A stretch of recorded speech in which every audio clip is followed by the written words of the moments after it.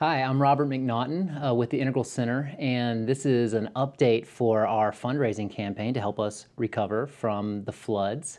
And I'm excited to be here with my good friend and a big part of our community, Ali Shanti. And we're actually here in your house today, and mm -hmm. it's a beautiful late October afternoon, and we're going to talk about community. Yeah. This somewhat uh, nebulous term. Um, and I'm really excited about this fundraiser, besides the fact that we need the funds to help us get back up and running again, but also this being an opportunity where I get to tell this audience and tell you about what community means to me, means to us, and all that's really important to us so that you can get a better reason as to why the Integral Center um, needs your help. And so thanks yeah, for joining me, you. Ali. And, and let me just say that not only does the Integral Center need your help, but the Integral Center could be one of the best places for you to invest. And one of the things that I've been thinking and writing about quite a bit lately is the idea of community being the new currency.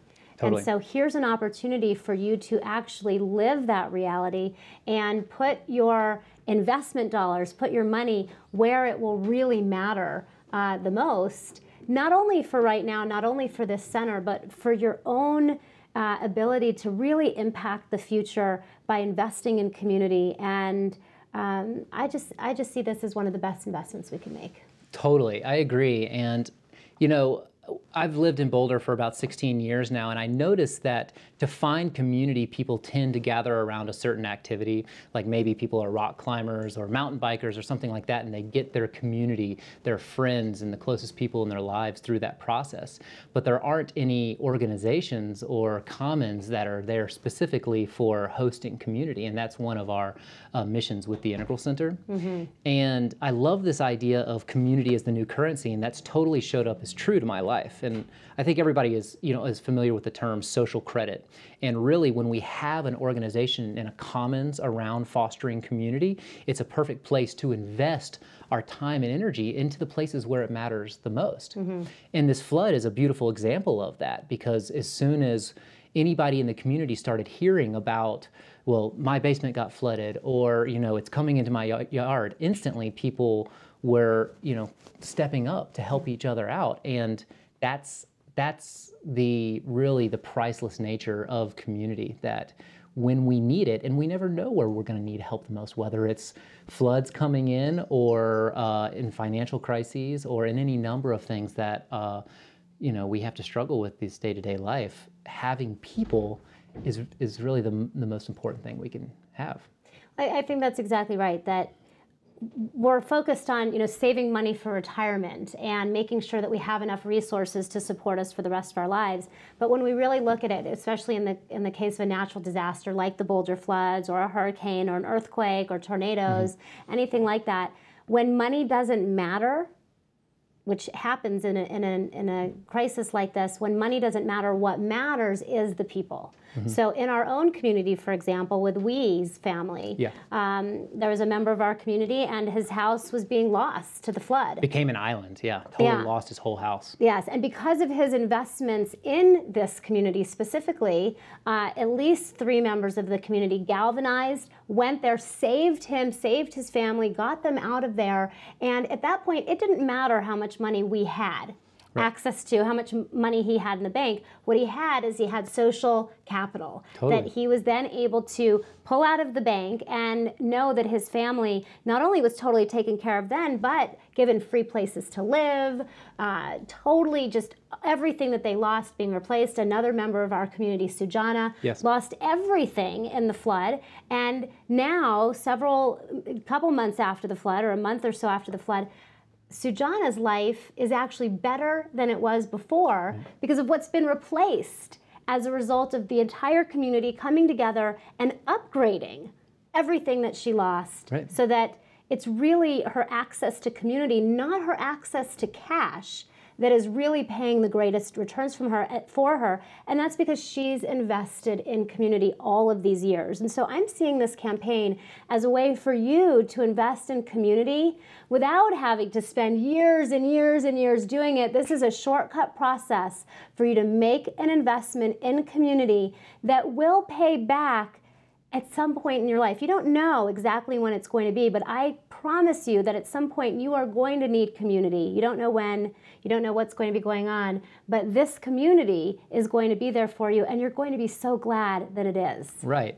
And it's not like caring for each other is a new concept, um, but having uh, resources for that, having organizational resources that can support people just having a place to be with each other yeah. is, you know, at its core what a community center is all about. And beyond that, the Integral Center, we focus on the best practices that we know of to help foster that even more. We are in a daily practice of creating opportunities to get into deeper relationship with each other so that when anything arises in our lives, um, not only do we know more people, but we have better uh, means by which to receive from them and ask for help. Mm-hmm. Like one of the practices we do is is learning actually how to to ask for help. That it actually takes a lot of vulnerability and that's what I'm, you know, really taking a master's class in now with this campaign is asking for your help. Absolutely. And and really the practices that take place at the Integral Center are the linchpin to us learning to live, work, and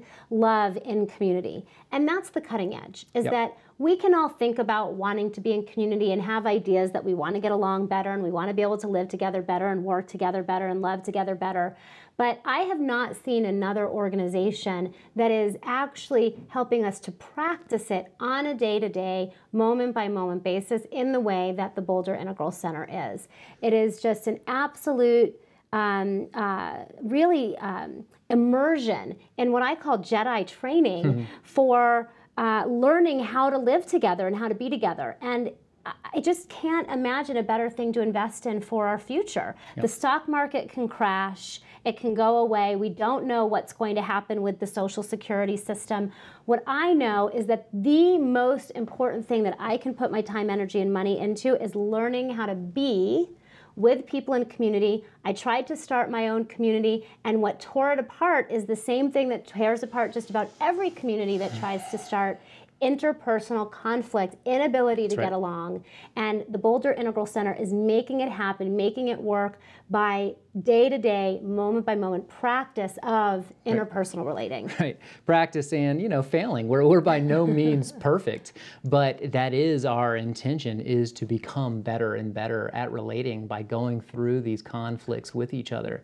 And you know, there's probably the best and brightest people I know in Boulder have been resourced by the Integral Center in one way, yes. shape, or form. And so, at its most simple, um, we need your help just continuing to do our work. So, to continuing to focus on creating resources for each other so that our communi- community can continue to be growing and healthy and for you to be able to access those resources as well. Yeah. So that at any time you can drop in into a circling lab. Uh, and circling is a practice of really deeply being seen, felt, and heard maybe more deeply than you've ever been before. And that's one of the beautiful practices that the yeah. Integral Center hosts on a regular basis in this beautiful community space where you can drop in, you're feeling a lot of things inside. Maybe you can't put words on them. Maybe you just aren't feeling heard with your spouse or your partner or your friend or in a business context.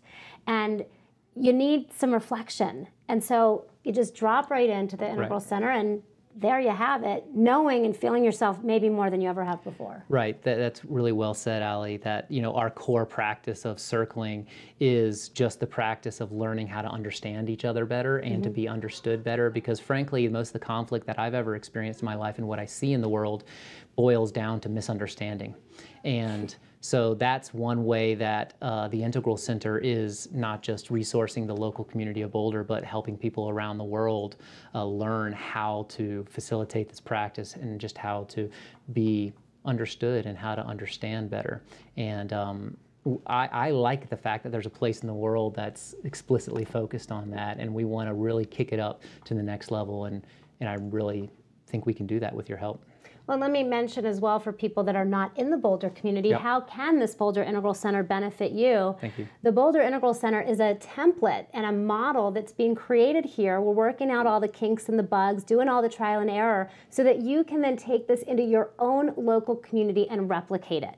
And having this be a success here, having us make you know make it through this crisis situation where a big infusion of capital is needed due to the floods, um, is really uh, taking things to the next level. It's allowing us to take things to the next level so that you can have that model to use in your own community, even if you're not here. So once you participate in this campaign, you're part of our community. Yeah. No matter where you are in the world, you are part of the Right. community. You can come in, you can learn the model, you could discover the template, and then take it out into your own community. And that's ultimately one of the big visions of uh, Robert and the Boulder Integral Center. That's right. Yeah. Th- thanks. And yeah, please, you know, stay in touch with us, and uh, we'll try to keep on sharing our success stories and failures, and, you know, for the benefit of everybody out there that's trying to foster community. That's a that's a community leader, and, and you are a community leader if you have a family, if you are with people in your work, or if you're anywhere you're with people, you can be a leader of bringing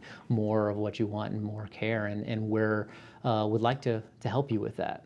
And um, so stay tuned in with this campaign because I'm looking forward to talking to more powerhouses in our community like Ali, where we can unpack all of the principles and the practices of uh, what we believe in and, and why people care about us. So thanks and, so and much. how it can benefit you. So thanks so much for being here and yay, let's thanks, do Ali. this.